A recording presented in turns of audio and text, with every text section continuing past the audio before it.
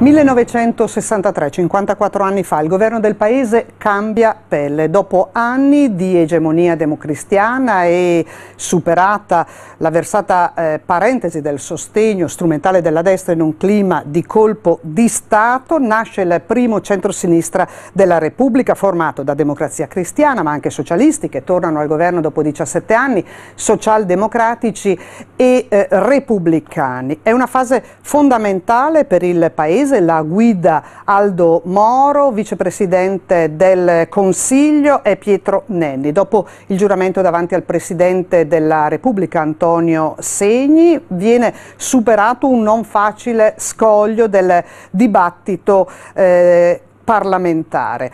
Mm, nel programma concordato figurano l'istituzione delle regioni, l'adozione della programmazione economica, le riforme per la scuola, per l'agricoltura, per l'urbanistica. Il nuovo esecutivo ha però vita breve, cade eh, solo dopo sei mesi, inciampando proprio su un provvedimento che riguarda l'istruzione privata. Moro si dimette il 26 giugno, ma eh, Segni gli riaffida l'incarico e il secondo governo Moro nasce il 23 luglio, peraltro senza eh, sostanziali cambi di poltrona, anche se dalla eh, stanza dei bottoni escono i fanfaniani e i socialisti che fanno capo a Riccardo Lombardi.